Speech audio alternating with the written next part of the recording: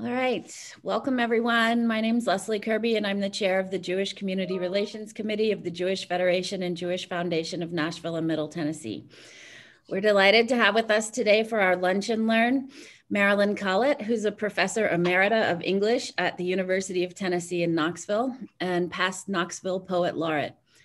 Her poetry is included in New Voices, an anthology of contemporary voices on anti Semitism, and 101 Jewish poems for the third millennium, including a poem that she wrote about violins of hope. We did a lot of programming locally around violins of hope. I want to thank Deborah Oleshansky, um, our community relations director, for making this cashier connection uh, between Marilyn and myself so that Marilyn could join us today. I wanted to do something in honor of uh, National Poetry Month, and so she suggested you. So we are delighted to have you here um, you. in all of our forms. And can you start off by telling us a little bit about yourself and how you came to be here today? Thank you. Sure. Um, well, I uh, I was born in Montgomery, Alabama, and we uh, we we went to New we came to New York when I was three years old. Um, my mother was deep South. My father was Brooklyn, um, and uh, so that gave a lot of tension in the house. That was that was a poet being born right there. I mean, you know, sort of mini civil war at the dining room table. Um, and uh, went, you know, went went to Tufts and Rutgers, and then came to uh, New, uh, Knoxville for the job directing the creative writing program. I was in the department for uh, 20, 27 years and, uh, and re- retired recently in 2018. Um, the Knoxville Poet Laureate gig was lovely because I got to meet so many good people. Um, I loved every second of it and I had to write poems about Knoxville, some of which are just the you know they belong in the anthology of bad verse. Um, there's one a, a, book of bad verse called The Stuffed Owl, which if you don't have it, you should get it because you'll just go crazy laughing. Um, and yes, yeah, so I did I did some poems that were worthy of that book. but you know, you got to do a few of those in order to get to the ones that are decent, right? Of course. so how does one become a poet? Um, it always intrigued well, me know, with creative things, right? I had some wonderful teachers in college. I had Maxine Kumin and X.J. Kennedy, and they com- they just completely inspired me. I had Madame Pradel in the French department. We were all in love with her. She was a, a theater person, and so she did poetry that was performance, you know, and that that's a great way to get started too so we, we couldn't decide if we loved her, if we loved poetry. It was very confusing because she was so good and so, so, you know, she was exquisite too. Um, so those teachers were, you know, they had a major impact on me. And so, do you remember the first poem you ever wrote? Oh, God. I choose to forget. um, I remember, I don't remember the poem, but I remember showing it to XJ Kennedy. My maiden name was Zimmerman. He looked at it and said, It's a zombie, Zimsy. so, you know, that was the start. He was, it was funny, but I, he was kind. So, when did you publish your first poem? I published poems in, in college and then, you know, did more of the publishing in graduate school. Um, graduate school, I was in comparative literature at Rutgers. It was a very male dominated field at the time, and that department was, I only had one woman teacher. She was an instructor. All the professors were male.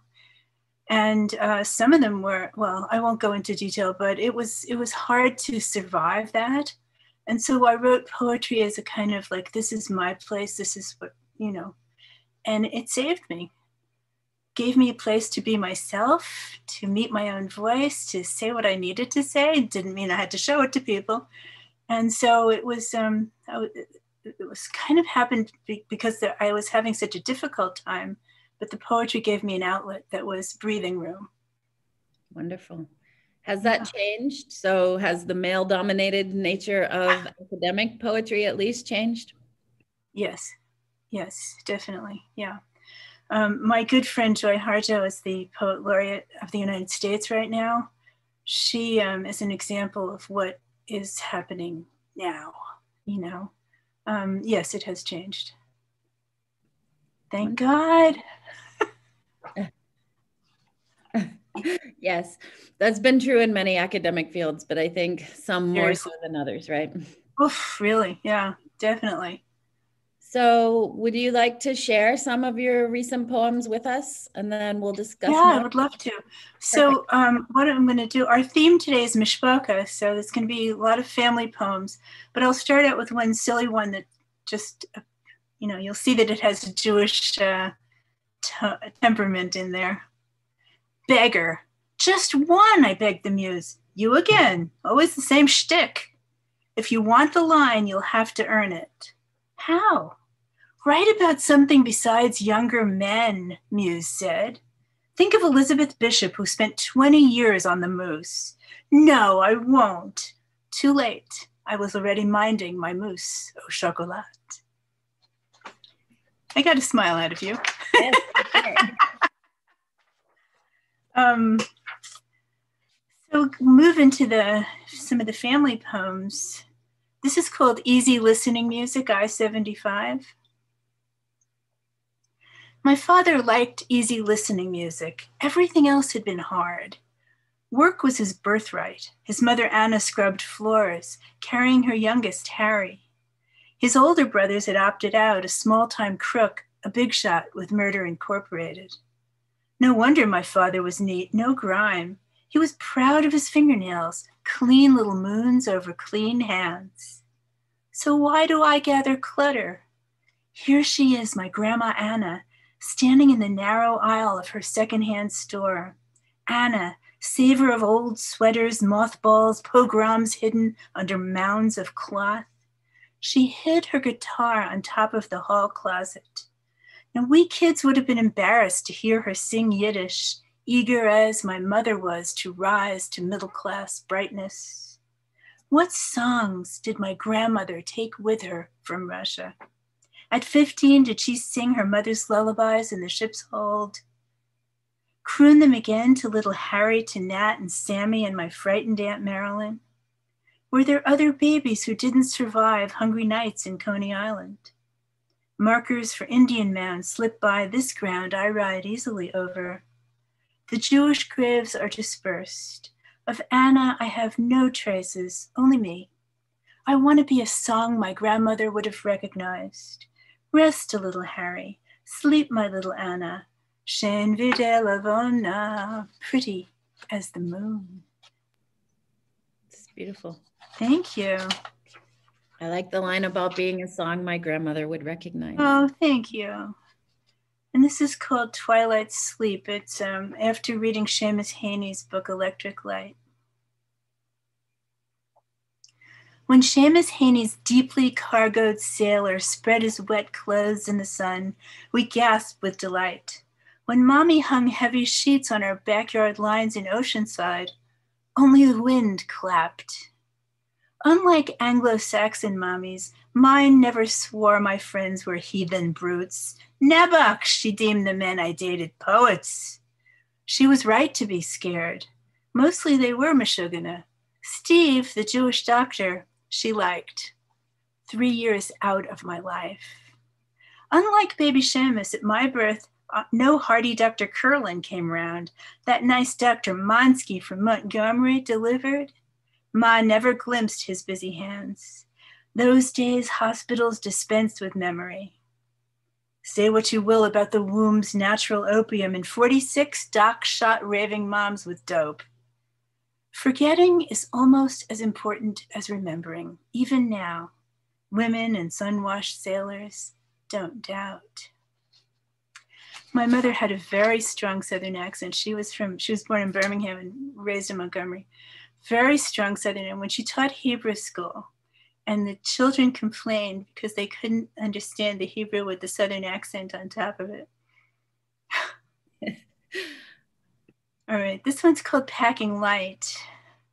I was bragging to my friends that I was packing light, and you know, and then And then um, all my luggage got lost and I freaked out. Packing light. When I said I wanted to travel light, I didn't mean I'd part with undies and mascara, that all my baggage should go missing. When the airline rang my hotel with sorry, I started making excuses. Um, I won't be able to attend the writers' conference after all. Uh, medical reasons, my heart, etc.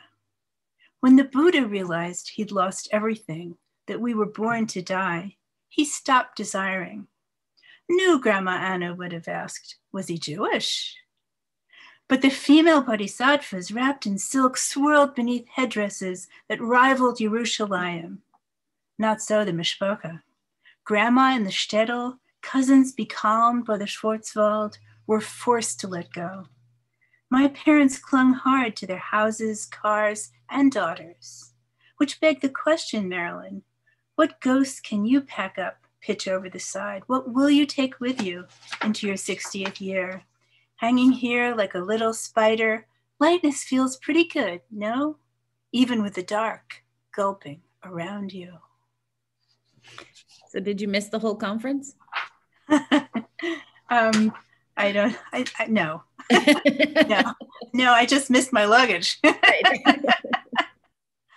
oh yes, I was, I was being so yes, packing light, and then wait, where is it? So the New York grandma, we had two grandmas. My mother's mother was the Montgomery grandma, a little sweet little Southern lady, and the New York grandma was a sweet little Brooklyn lady.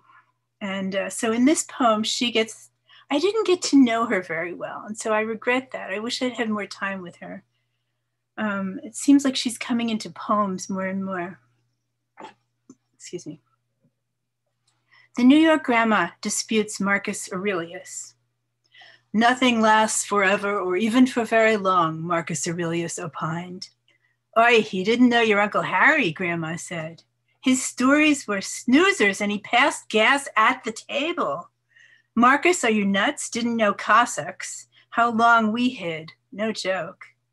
Marcus the bilious never got packed into steerage for Ellis. But you got here, Grandma. You got here. Look at the bright side. Oi, Grandma said, it was very dark for a very long time. Aurelius was a Schlemielius.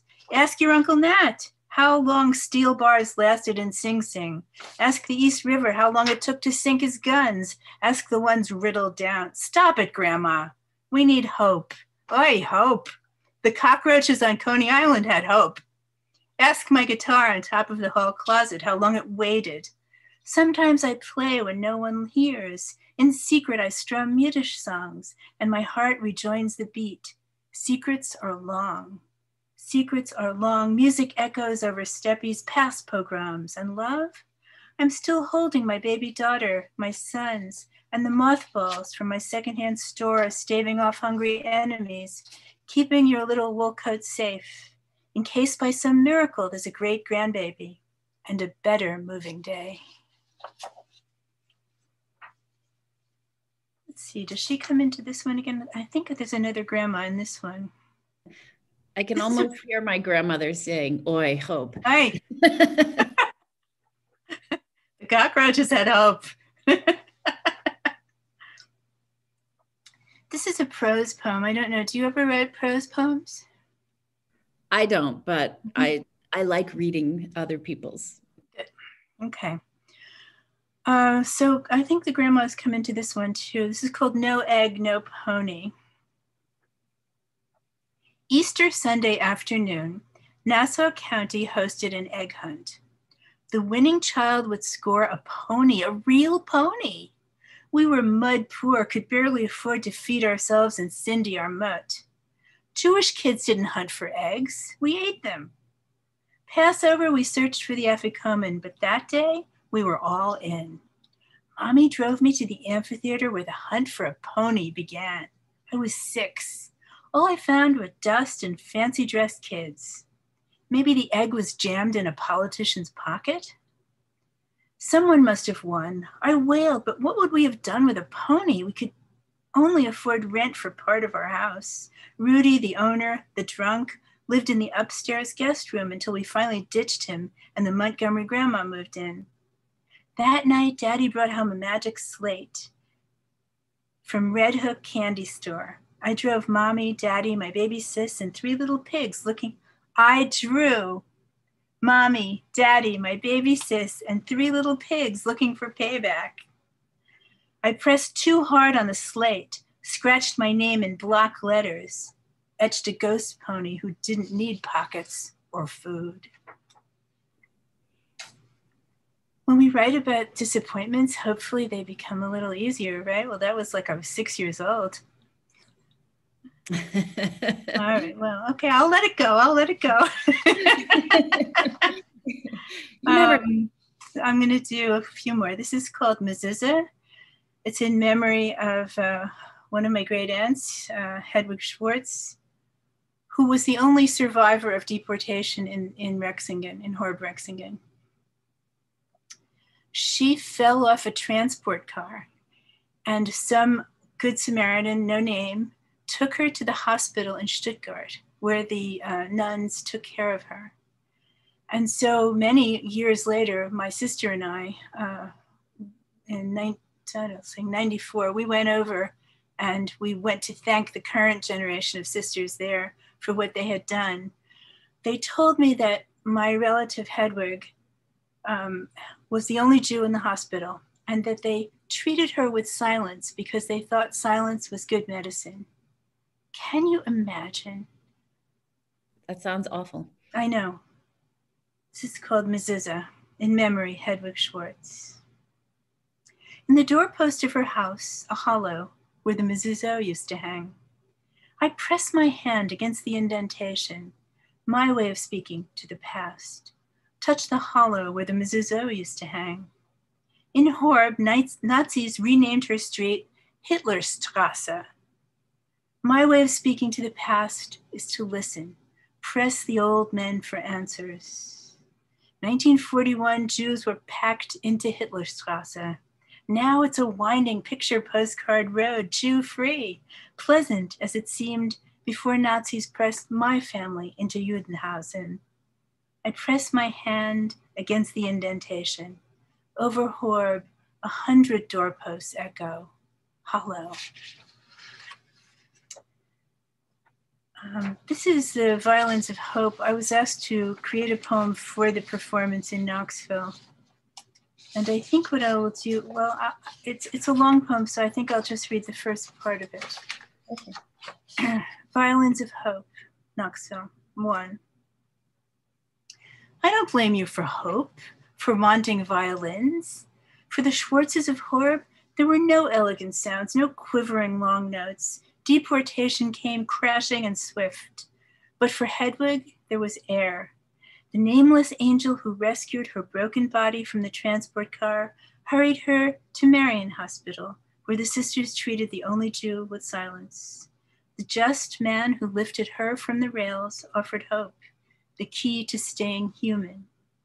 Each violin reminds us that silence is no remedy for persecution.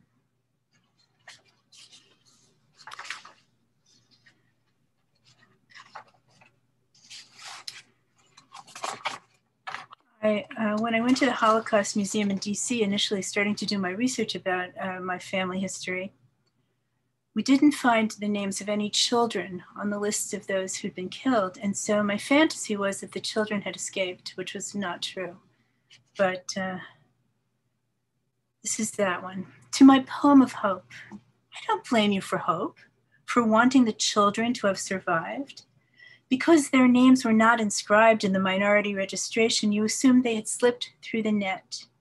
My dear, Horb was a hillbilly dot. Everyone knew everyone. Now we find this handwritten ed- entry by Hedwig Schwartz in her daily book of prayer. On Friday, November 28, 1941 at 5:50 a.m., our dear good daughter Hilda Sarah Lemberger and our dear good grandson Siegfried Israel Lemberger moved away from here. We only wish that God may watch over them and that they stay well. Their grandmother kept Sarah and Israel in case of Nazi eyes. Mother and son, quote, moved away from here in early darkness. The rooster couldn't crow. The files reveal that Hilda and Siegfried, called Friederlich, were deported east for labor assignment, that is to say, Riga, declared dead 4 1 1942. Vertot erklärt, pronounced by anonymous agents with past participles on their hands. Dear poem, if we look again, and we must, we will find scraps, scrawled words, secret histories, the cry between the lines. Remember, they called me Freddie. I was six years old. Here's what really happened. This one is called How to Get Heat Without Fire, and it's it's a love poem. It was a love poem to a friend of mine whose whose uh, parents were Auschwitz survivors. So how to get heat without fire is how to love without hurting anyone. How to get heat without fire. Beneath the dark floor, there has always been love, but the trick is how to get down to it. Shall I tear my way down like a tiger clawing the floorboards when this tearing down is what scarred you? Whose mother is there in the dark trying hard to hide you from the memory of the floorboards in flames?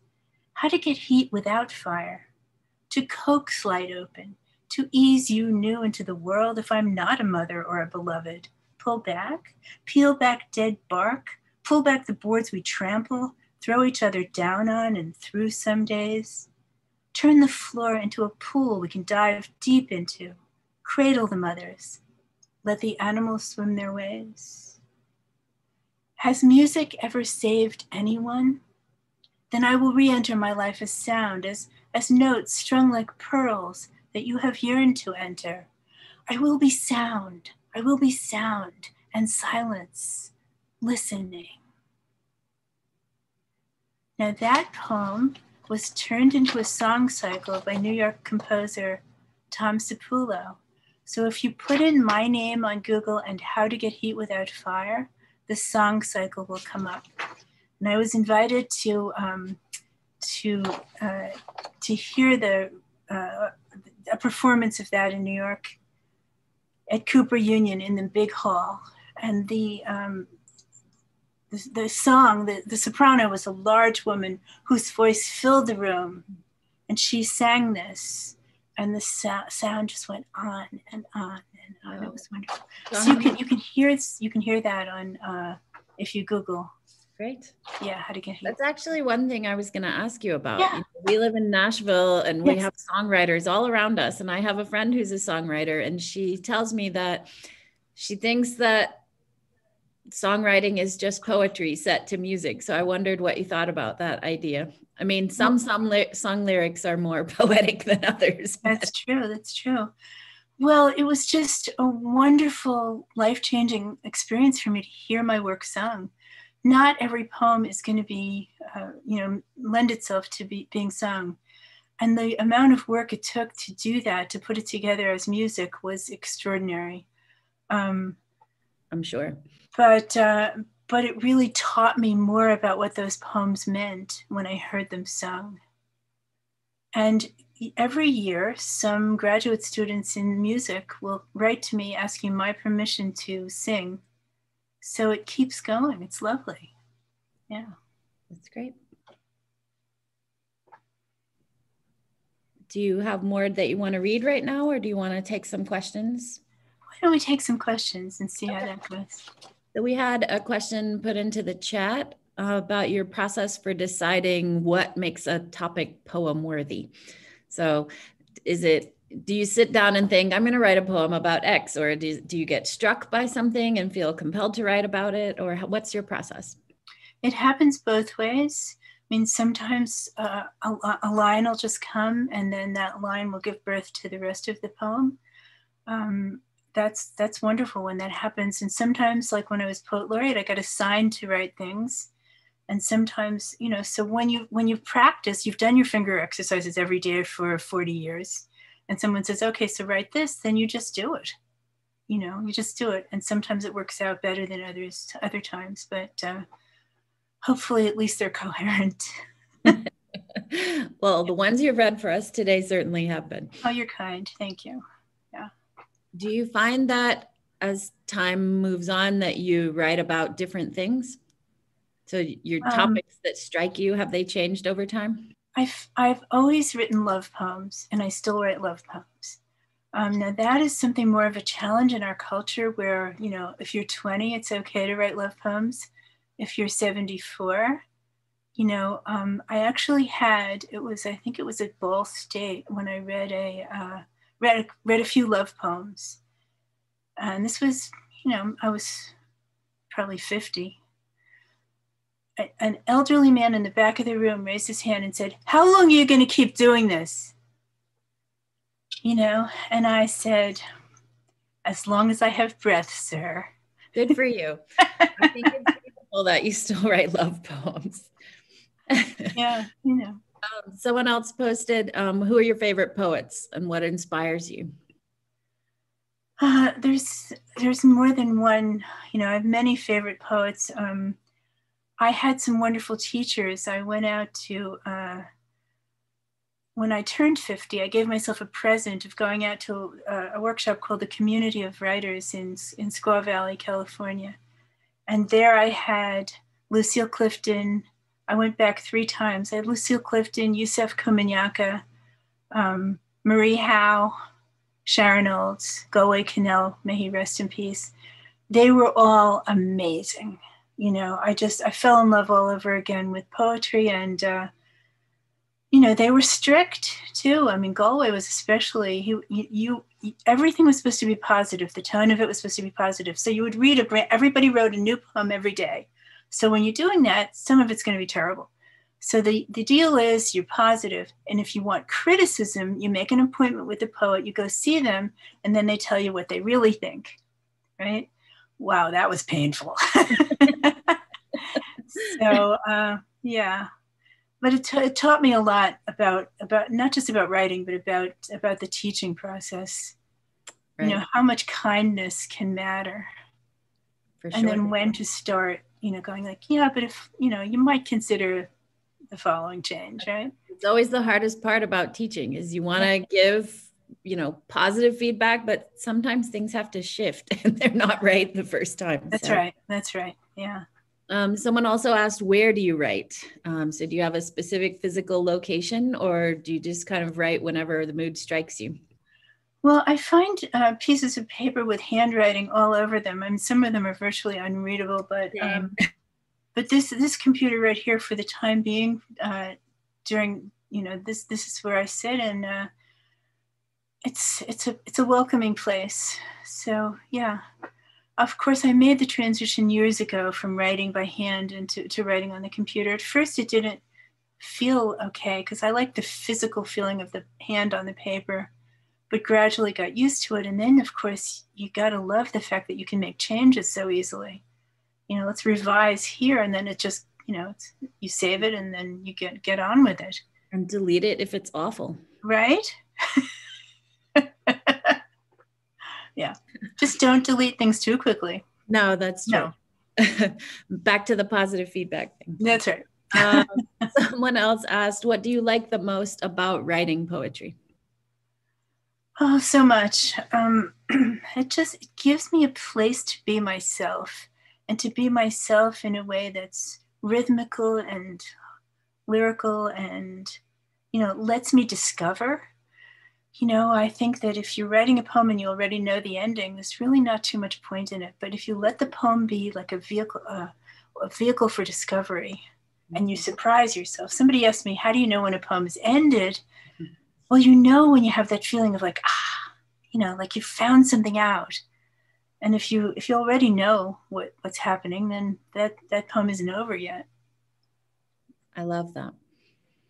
Um, someone also asked uh, more about when you got started. So she's asking, was it kind of a person or an experience that compelled you to start writing poetry? I, I actually got started writing in like sixth grade. I wanted to be a mystery writer. When they asked us what we wanted to be, you know, for career day, I gave them three choices. I said, I want to be um, a writer, a teacher, and a policewoman decoy. Well, uh, Quite an I think that was hormones, right? So, um, luckily, the writing and the teaching did take place, and I didn't really need to do the other. was enough excitement in the writing. You know, it might have been an interesting experience. right. No, no. So, uh, but but I, I started writing in sixth grade, and it was stories. I wrote stories, and I wrote stories about how much prettier I was than my sister. Nice. you know, and then um, and then high school we had some had some poetry going on, but it was pretty painful. It was a lot of the rhymed, you know, a moose and a goose together had juice. Right. But um, and then in college I had those wonderful teachers, and that turned me around. You know, that was like uh, life changing.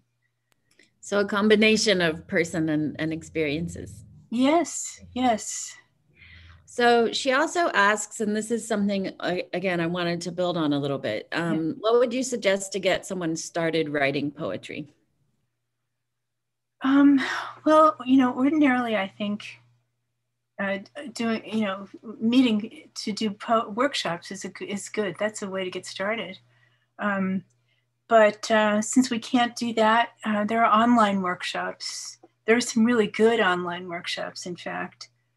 Um, so I think you know that that's what to do. Look and see what's being offered, and uh, it doesn't even need to be near you anymore.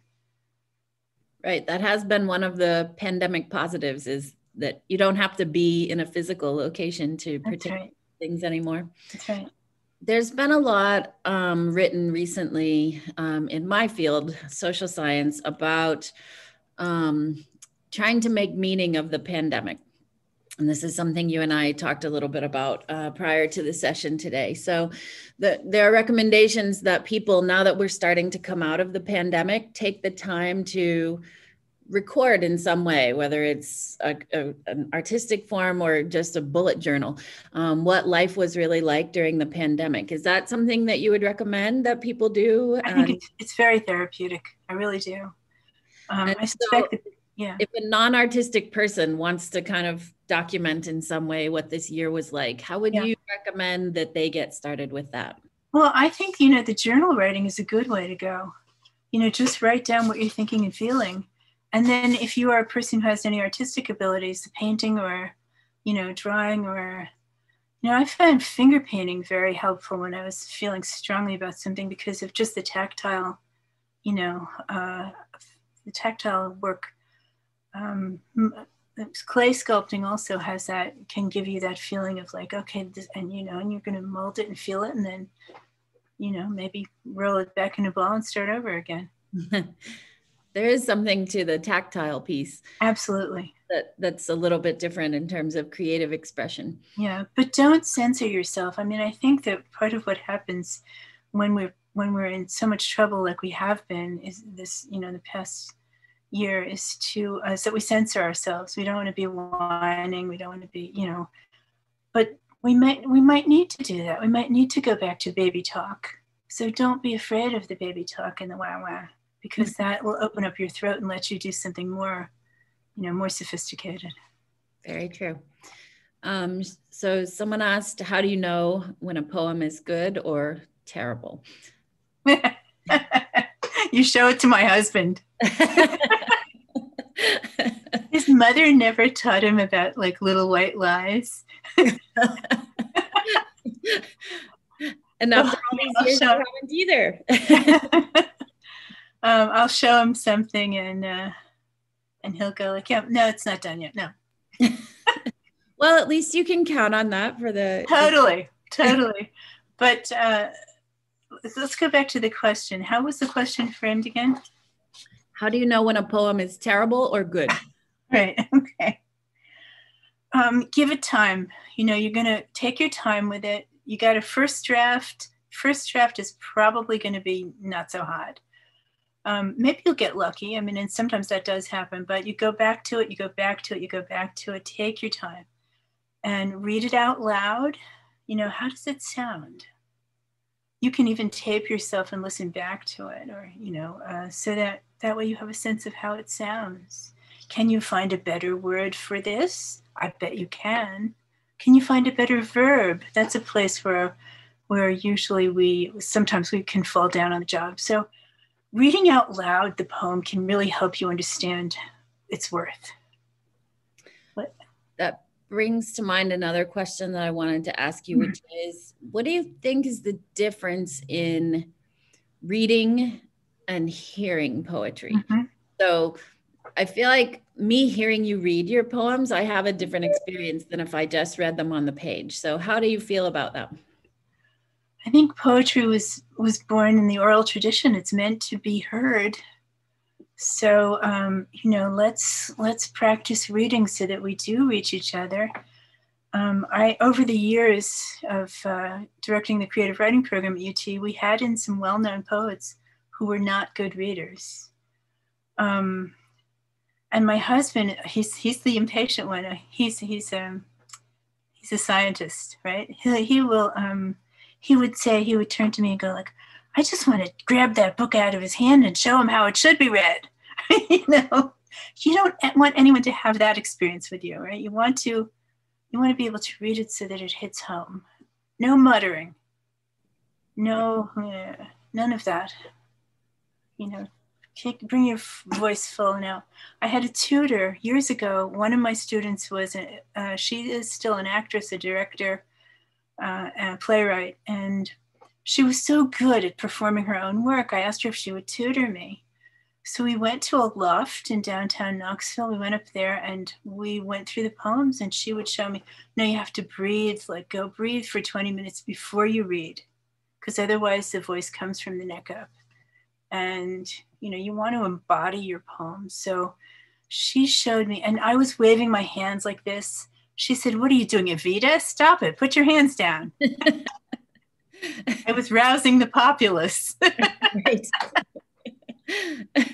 Not so much. Okay that sounds similar uh, in some ways. My daughter's a singer, so to harkening ah, of course with songwriting we were talking about, but there, you know, it's easier because of the structure of um, songers. You know, so I know a lot of people who just write the songs and they're yes. terrible singers and they can never perform them, and so they have to sell them to someone else. Poetry doesn't really have that same kind of way right so it's hard to be a poet i think if you can't do the the public performance piece of it sometimes. Right. But you'd be surprised. Well, yeah. How, how many? Mm, yeah, you don't want that. No. And no chanting. There are poets who chant. Ah, no. Right. It's like, no. Don't do that. I've been struck by this recently. I've seen a lot of ads for people selling uh, Amanda Gorman's book of yes. the poem that uh-huh. she read at Joe mm-hmm. Biden's inauguration. And every time I see the ad, I think like, would I feel the same way if I just read it? Or I, maybe I should just go back and watch the YouTube of her doing it out loud. Um, I think it's just really different um, doing a flat reading of it. But yeah, yeah, didn't she did a lovely job? But yes.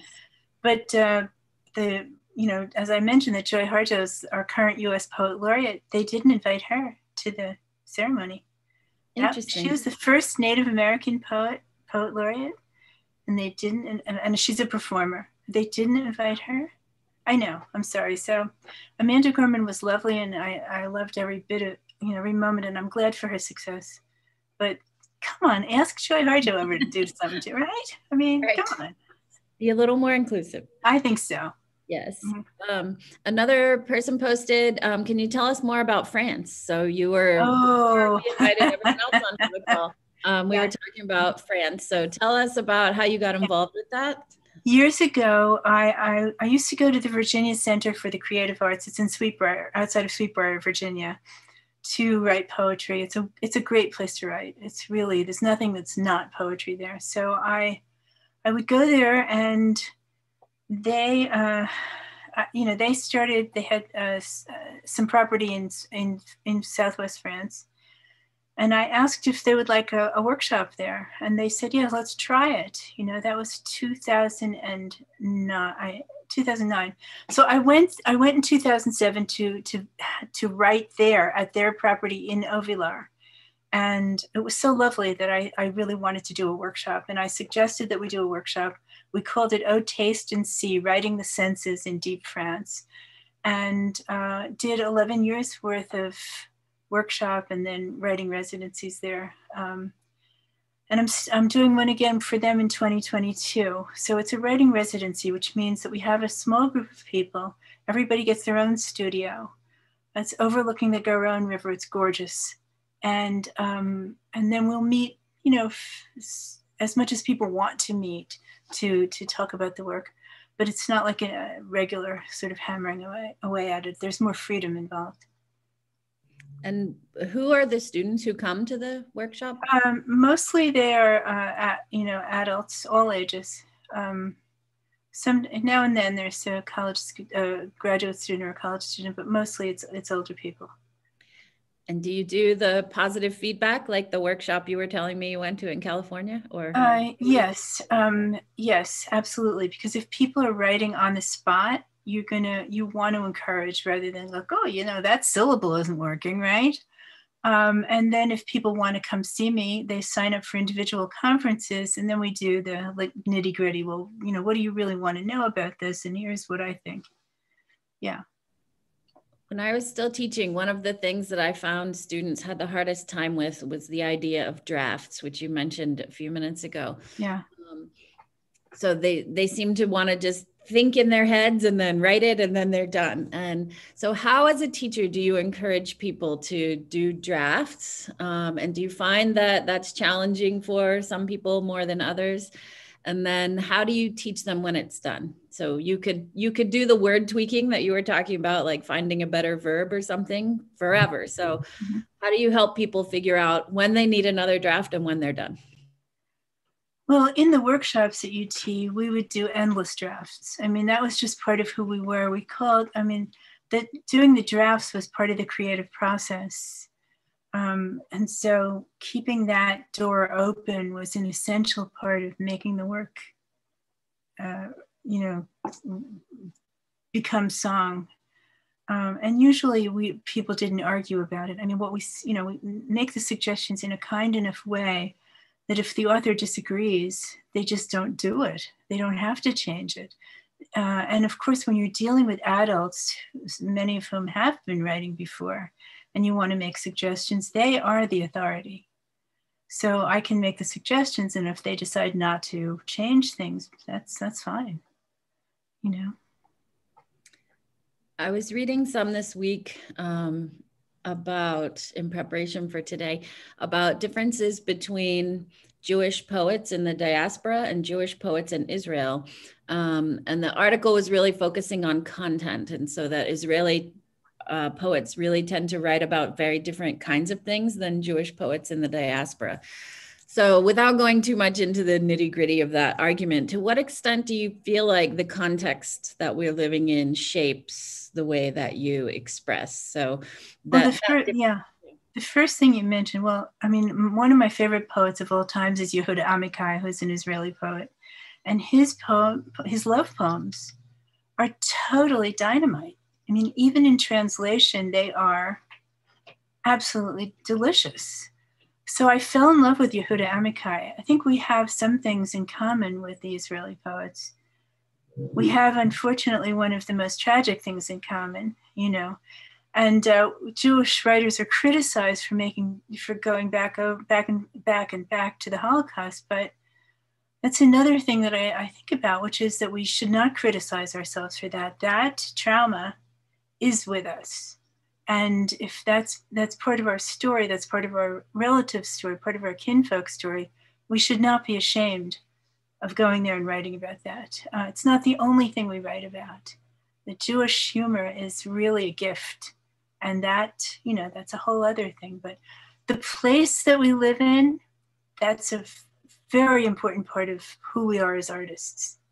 You know that place may shift uh, and that you know we we're sensitive to the outside world and that we'll see what it has to tell us and what we need to hear and what the friction is there between where we were and where we are now you know that sort of thing so yes it's it's hugely important uh, environment another thing that i was reading is what makes a Jewish poet. And so mm-hmm. the article that I was reading was kind of debating about this, and I'd never really thought about it.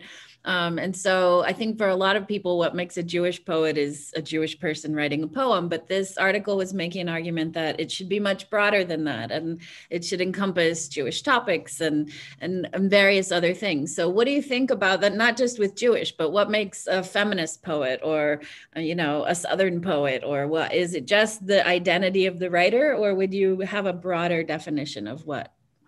I think the identity of the writer is key.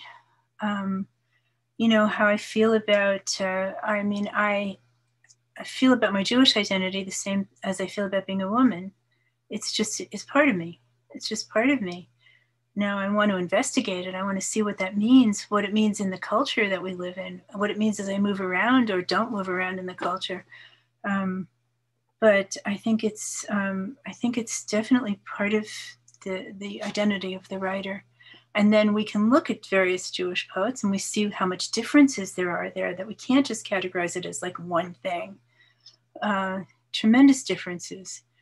But we all have some things in common, and that is uh, the, the tragic history and the, the source that we come from, that is the, the, the Torah, the Jewish writings, uh, and we have the humor. Thank God we have the humor. I keep coming back to that because we need it. Right. We also we have some very bad wine, but that's a whole different story. Come on, I grew up with Manischewitz, okay? It's barely wine. okay, so we agree on so many things. Right. so you mentioned humor a few times in terms yes. of importance of that. Are there mm-hmm. topics that you feel like you can't be humorous about? Well, certainly you you can't be humorous about the Holocaust. That's not that's not going to be a laugh. So no, you're not going there, not at all. But but otherwise, you know, and even uh, I think anti-Semitism in general, and I do tend to write about that. Um, there's plenty of it going on still. Uh, you know, that's that's no that's no day at the beach. We're not going to get funny about that one of the things in my field of psychology that we've learned recently is that um, people who are able to laugh in stressful times mm-hmm. actually have better outcomes. That's good. Um, so, and of course, there, you know, you don't go to your girlfriend's funeral, your grandmother's funeral and laugh, um, but you, you have to know when to laugh. But um, there's really something to this idea um, that you, it helps you take things a little less seriously. And one, it's one of the areas in, in coping research where we find that there are actually big gender differences and that men are much with a lot of coping strategies, there are fewer differences than you would think. But the humor piece, men are actually much more likely to do that as a coping strategy than women are, which I also I always find kind of fascinating. So I'm glad to hear you as a female poet writing about the oh, yeah. of humor and oh and, yeah. Well, I had a student um, who was um, arguably he was memorably uh, memorably bad writer. Um, he uh, put his cousin Marvin in every poem and that's hard to do without i mean he wasn't trying to be humorous. So lately bless his heart he was in he was a sheriff and i'm sure he was a very good sheriff. But um he would put his cousin marvin in every poem. So when i feel like laughing i will do a rhymed poem and put cousin marvin in it. Like a moose and a goose together had juice but my cousin marvin had a loose tooth. And drank Manischewitz. oh, yeah. And did you ever put "Bless Your Heart" in a poem? I don't think so. Do you think I should? I don't know. It seemed kind of begging for it as a phrase, but that's right. Only if you capture the true Southern meaning of right, right. It's like you know, right? not the right. it's not a compliment, right? He was he was a good sheriff, bless his heart, but poets not so much. How has COVID impacted the way that you have written? So are you writing more or less or differently or same? During the um the start of it, I heard Yo-Yo Ma on PBS. He was playing songs of comfort. And he said, I would encourage all of you to do songs of com- comfort in your in your own way. That day I started writing comfort songs. And I did one every day for like 60 days. So the cha- a chapter of my next book is called Comfort Songs in a Time of Peril. and that will be, um, you know, that that has some of those poems in there. Yeah. No, I think that that helped me considerably. I mean, it's an outlet. It calms you down because you may not be able to to do anything in the world that, that calms the situation. But at your desk in front of you with your thoughts and your feelings, you can organize them and you can create a little sense of order. And maybe a song. right? Do you have any of those that you'd be willing to share with us? I'm looking here to see what I have. I have one here. And while she's looking, if anyone has any uh, questions as we're starting to wrap up, please put them in the chat and I will um, ask them. so many poems, so little time, right? Yes. Here's one. Spiritual. What power has love during a pandemic? Ours was always virtual. Plato called it. Kind love swells stronger, like a muscle that has been working out, but lighter invisible like atomic weights, love that lifts us daily without hope of gain. We practiced for this. Virtual, virtuous, faute de mieux. Write to me, buddy. Plato, Plato, mixed metaphors. Honey, words are all we have and hold. It's amazing. So that will come out in a new book that you're publishing soon? Yes. Uh, well, the new book is called Even When We Sleep, and it comes from Paul Eluard's line Even when we sleep, we watch over one another. Mm. He wrote it, it was French. Uh, Même quand nous dormons, nous nous veillons l'un sur l'autre. Even when we sleep, we watch over one another. So that's the title, Even When We Sleep. Wonderful. And when will it come out? Good. I don't know. I'm going to put you on to my publisher, okay? Listen to Leslie it can be like that sometimes. Who wants to know when? of course. Soon, and I will certainly let you know. Thank you for asking. Perfect. Yeah. Do you write poems in French as well? Sounds like you speak French fluently. I translate French poetry. I don't. I've tried to write in French, but uh, the subtleties, you know, that of being just born into that language. That uh, that's that's probably my daughter. Hello. No. Um, the subtleties of being born into the language, it doesn't work to write in French. I've tried it, but I do translate. I translated Paul Eluard's Last Love poems and uh, Benjamin Péret's The Big Game. Um, Chantal Bizzini's uh, Disenchanted City. She's a contemporary poet, so I've done those, and that's uh, that that that has also changed my life because I, it's taken me to taken me to France and you know sort of immersed me in the language. Is it hard doing translations? I feel like it would be a lot of pressure to capture the kind of feeling of the original. It's a lost cause, really, but um, you know, all you can do is get the feeling of it, get the sort of some of the musicality to, you know, and I couldn't. Uh, daughter was helpful to me back in the day when I started doing that. That was like in the late '70s. Um, and uh, Chantal Bizzini is, is, she and I worked together on the translation. So I would send it to her. She'd say, no, no, you don't want this. You want something a little, you know. So that way, at least I got closer to to being accurate, if not, you know, French. The language is sort of like a stringed instrument, and English is like Yankee Doodle Dandy. It's a hop, skip, and a jump. It's a whole different world. So we get as close as we can. Any final questions from others on the call? I feel like I've kind of dominated things today. You've but... done well. All right. Who are some um, poets that you would recommend, Jewish poets, for people who don't or who aren't familiar with Jewish poetry? Well, Marge Piercy is lovely, and she, her work is is very accessible, and she is um, steeped in the Jewish tradition and the religion. And so I would I would strongly recommend her. Philip Levine writes about working class, wrote about working class Jew, Judaism, uh, daily life. So Philip Levine, Marge Piercy, and who else?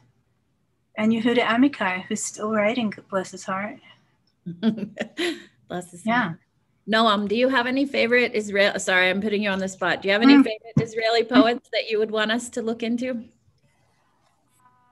I can send a list. Okay. Um, but my mom learned literature in university. So we have so many um, books, so books of poetry.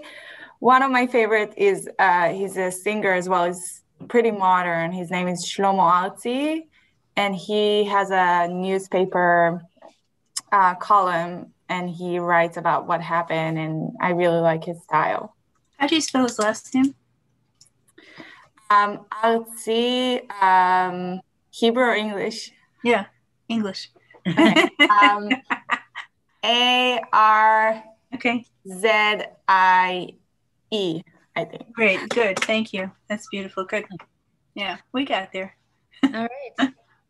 So, thank you everyone for joining us today. Thank you, Marilyn, for being with us and sharing some of your beautiful poetry with us. Thank you. It's a great pleasure. Really, it's a, it, it it's a it it helps to have community. Yes. Thank you. And thank you again to Deborah, who I know will be watching this later, for connecting us together. Thank you, Deborah. All right. Um, just a couple of quick announcements. Um, next week, we're going to have a representative from TIRRC, the Tennessee um, Immigrant and Refugee Coalition, um, talking with us about recent immigration issues and, and the situation at the border and how that's impacting us locally in Nashville and in Tennessee. Um, we next week, Noam is actually going to be uh, the host for an event on Wednesday evening, April 28th, with um, Tal Heinrich. Did I get her name right? Yes, it Um. Israeli journalists. Um, Noam, do you want to say anything more about that, or? Um, I would love to. Thank you. Um, so she is an excellent journalist, um, and she's going to talk about um, the vaccines in Israel, um, Biden's policy in the Middle East, and the third elections in two years. And just to run uh, run through the Israel topics. And uh, if you have any questions, um, I'm here. I can send my email. Perfect. And then on May the 4th, Tuesday evening, May the 4th, we are hosting an evening with Bari Weiss focusing on anti Semitism. Um, we have four different congregations uh, from around the country who will be participating with us. And then Shaul Kelner is going to be representing CRC as the moderator of that event. And so it should be an interesting evening as well. So please join us for all of that. And thank you again, everyone, and um, Dr. Kallet for uh, being with us today. So thank you.